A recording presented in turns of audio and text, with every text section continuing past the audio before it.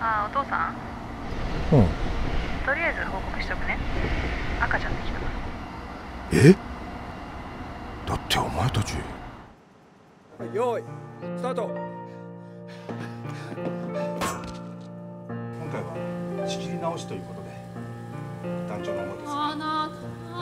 やるんなら一気にやりきっちゃうとダメだって。ちゃんと事務所通していただけたらうちもお力になれたんですよ。お金都合しようか。それか帰ってこない。あの人のこと。お父さんとお母さんに言ってないことあんだよ。私たちもう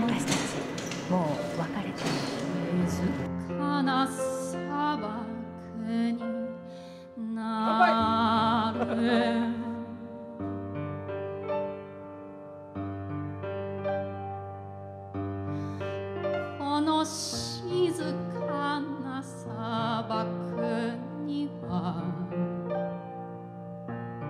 小さな小さな文字が書かれ消えてゆく。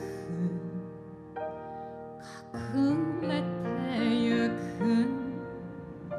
静かな pausing.